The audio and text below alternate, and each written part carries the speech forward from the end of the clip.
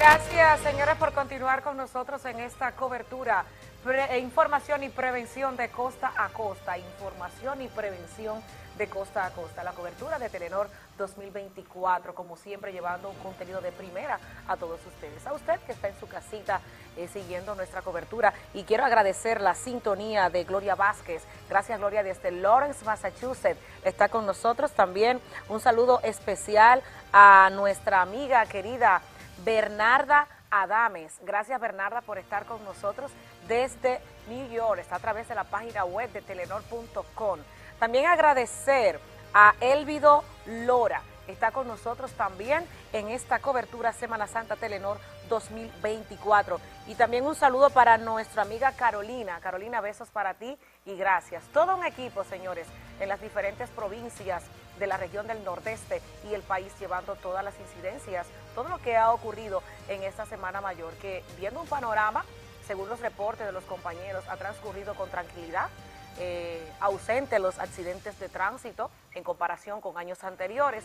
Y ojalá que la población ya esté creando conciencia sobre la importancia de preservar la vida y que la Semana Santa es una semana para reflexionar, una semana para compartir en familia, una semana para realizar reflexiones y demás, una pausa obligatoria para el lunes incorporarnos nuevamente a las labores productivas. Eso es importante.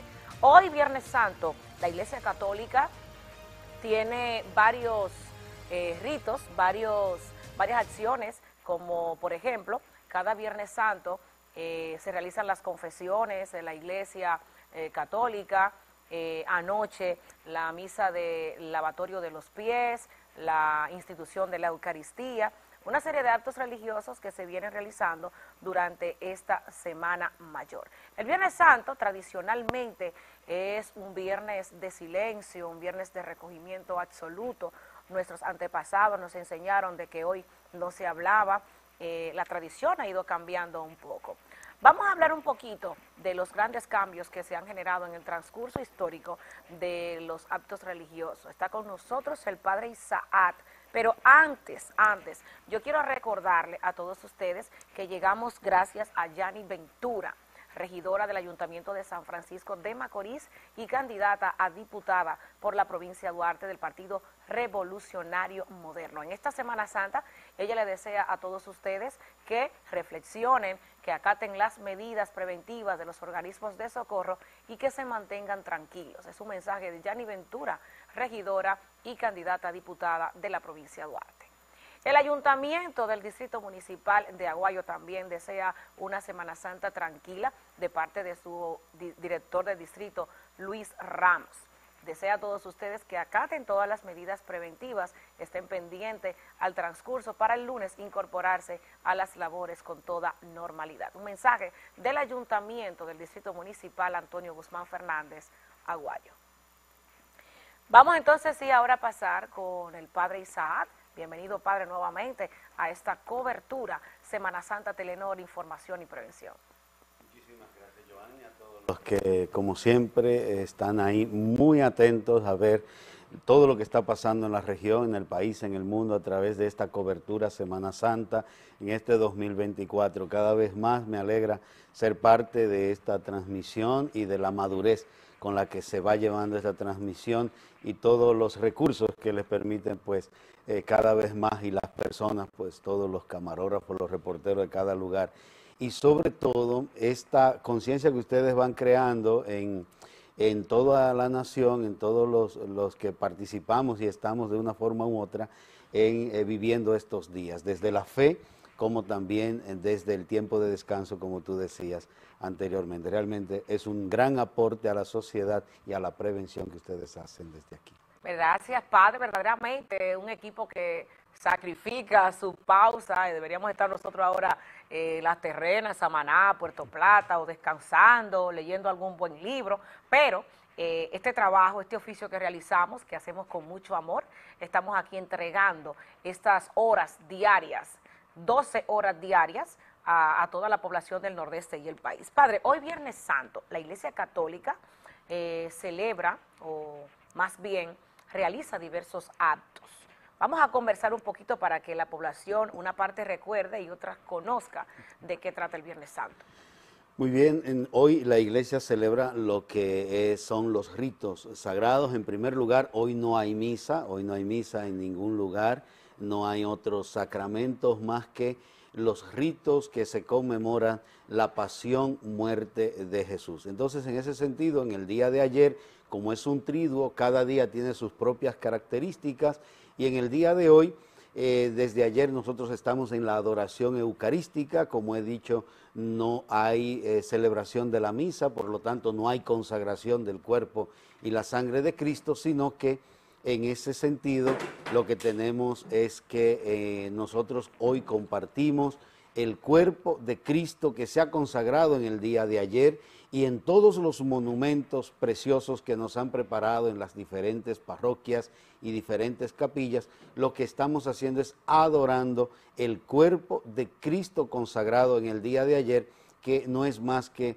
esa presencia real que Jesús ha dejado para su iglesia. Y la ha dejado para la adoración, igual que para el alimento espiritual que por la fe en la resurrección de Jesús, nosotros entendemos que es lo que nos da la vida eterna. Por eso hoy, en este día de Viernes Santo, es un día muy austero en la iglesia, en la cual, como ya tú has dicho, hay tradiciones muy antiguas, algunas de ellas se han ido perdiendo con el pasar de los años. Sin embargo, yo te puedo asegurar que conozco personas precisas con nombres y apellidos que hasta este momento y hasta las 3 de la tarde no van a abrir eh, la boca en el sentido de que no comen, hacen ayuno, hacen penitencia y además eh, se frenan la boca para hablar, es decir, no hablan hasta las 3 de la tarde, no usan teléfonos eh, porque ya mantienen esta tradición tanto personas adultas como también personas jóvenes y se sacrifican por eso. En esa parte, yo recuerdo cuando participaba de la pastoral juvenil, eh, que los Viernes Santos se preparaba la muerte y pasión. Era como escenificarla por las calles. Tradicionalmente, y por muchos años, así se llevaba. Ahora vemos, no vemos esa tradición. Eh, eh, hay algunas parroquias que realizan la muerte y pasión, sin embargo, esto ha cambiado. ¿A qué crees se deba estos cambios? Sí, entiendo que, por ejemplo, anteriormente vivíamos la fe desde, desde una forma vivencial, no significa que hoy no se viva, pero las, los actos, pues los grupos juveniles que eran muy, muy, eh, eran, era un hábito normal que en todas las parroquias, en todas las comunidades estuvieran eh, los grupos juveniles. Entonces preparaban los dramas, la dramatización para durante todo, eh, todos estos días llevar estas escenificaciones de, las, de la pasión, muerte de Jesús. Entonces en ese sentido ya los grupos juveniles actualmente quedan muy fuertes en algunas parroquias, no en todos los lugares, y esto ha hecho que disminuya esa intensidad y esa participación eh, de los jóvenes en este tipo de dramatizaciones. No significa que no asistan a la iglesia,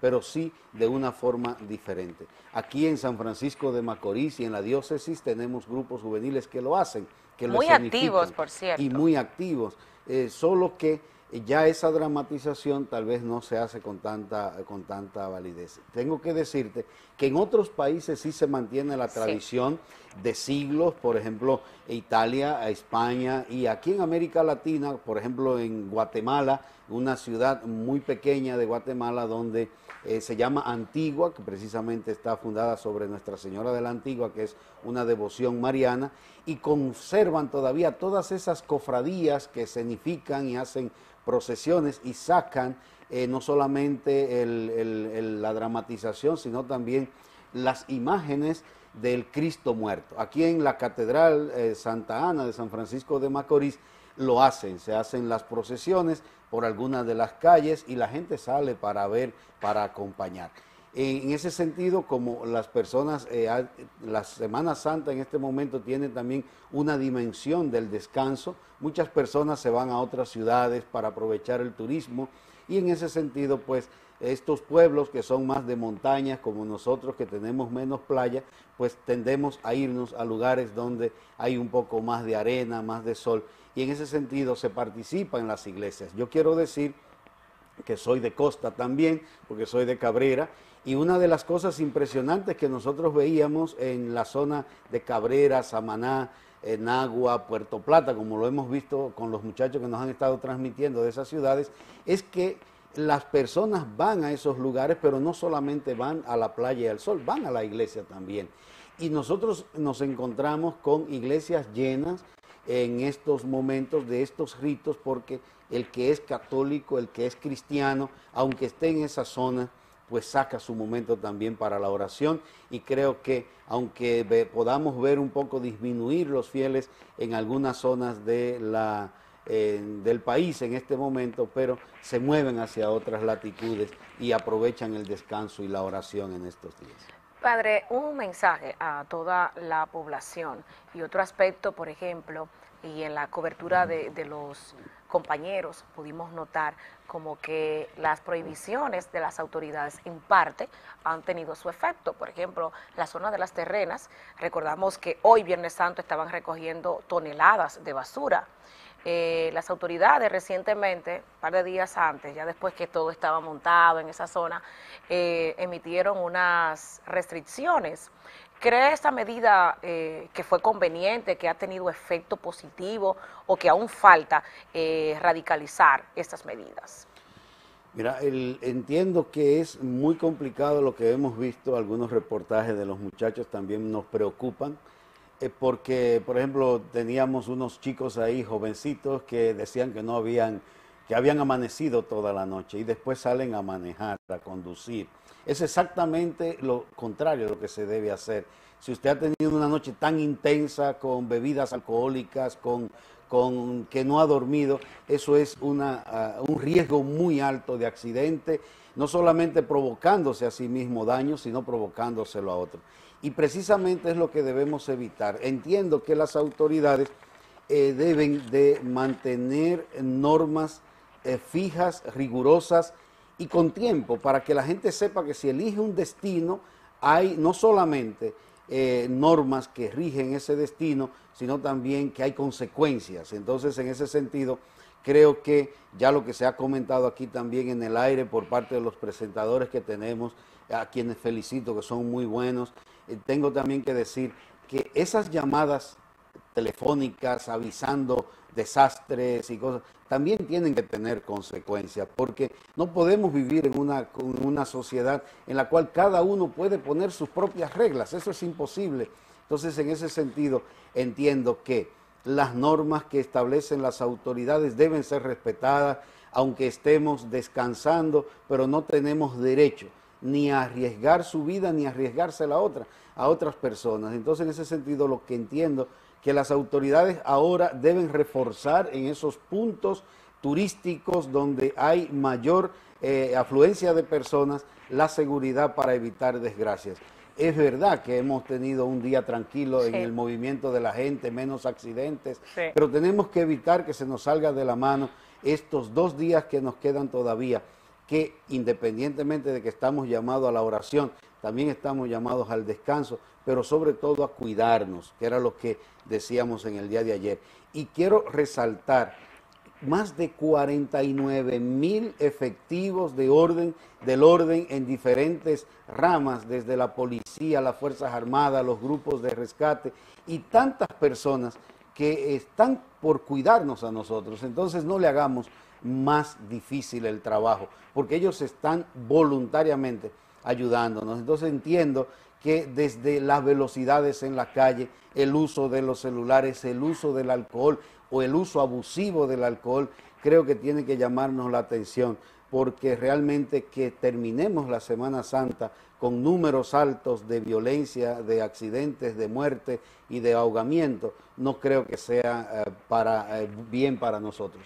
Además, eso desdice mucho de nuestra educación y de nuestra responsabilidad como seres humanos que realmente debemos conocer dónde están los límites de cada cosa. Por eso entiendo que el mensaje debe ir enfocado a que los que están en lugares eh, abiertos, en lugares de diversión, se cuiden, eh, cuídense, regresen a sus casas bien, traten de que las cosas no se nos salgan de la mano y cuidemos también a esas autoridades y ese personal que hoy, como ya dijo Joanny al inicio, ha dejado su descanso y va a terminar el domingo, pero muy cansado para que nosotros estemos bien. Y creo que esa es la sinergia que hay que hacer entre un grupo y otro. Por eso estamos aquí también apoyando las transmisiones, apoyando este trabajo, porque creemos en él y creemos también en la sensatez de los dominicanos, sobre todo de nuestra región.